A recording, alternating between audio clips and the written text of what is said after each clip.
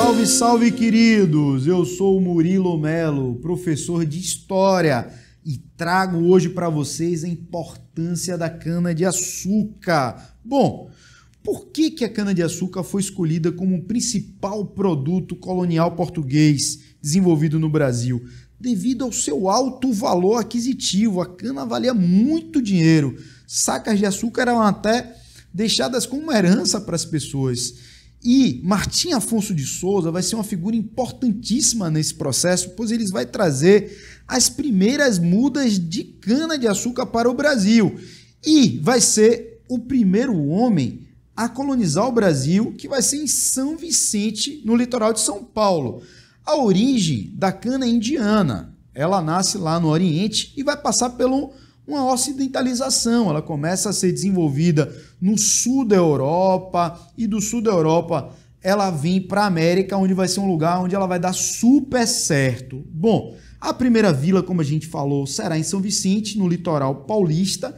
E o centro que produzia e transformava a, o, o, a cana em si, o produto em açúcar, era os engenhos. Os engenhos eram extremamente importantes. Aqui vocês estão vendo a imagem de um engenho, um engenho mais antigo, pois você vê aqui a força animal movendo a aparelhagem. Isso aqui era uma verdadeira indústria que transformava um produto com vida, que era a cana, em algo cristalino, puro, né? que é o açúcar que a gente conhece que está na nossa mesa. E eu trago aqui para vocês também os lugares mais importantes onde se desenvolveu o plantio e o comércio de açúcar. O Recôncavo Baiano, onde vocês estão vendo aqui essa imagem do Recôncavo, né? o Rio Paraguaçu, com a igreja do lado, uma casa grande, uma senzala no fundo.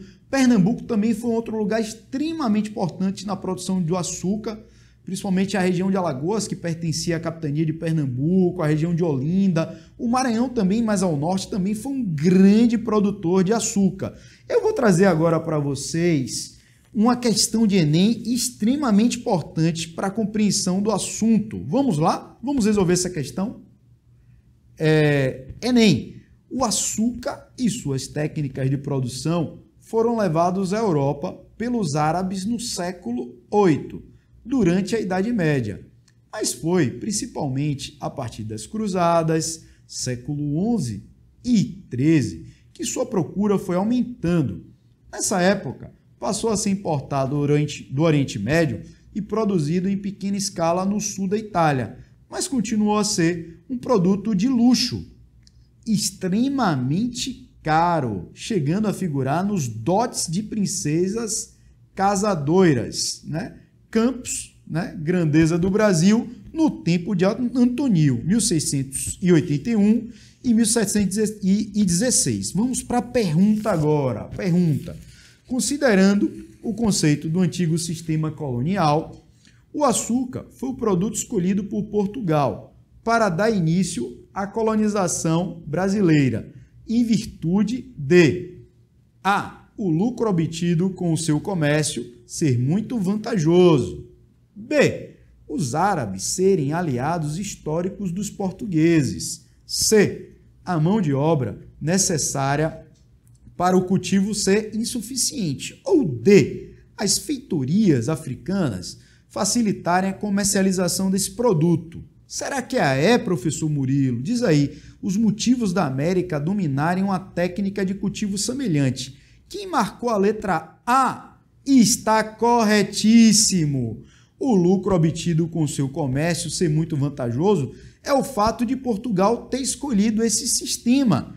E eu vou ficando por aqui, mas eu agradeço imensamente a sua visita, a sua visualização e peço para vocês compartilharem nosso vídeo, seguirem o canal e ficarem atentos aos próximos vídeos. Aquele forte abraço do professor Murilo. Até mais, gente. Tchau.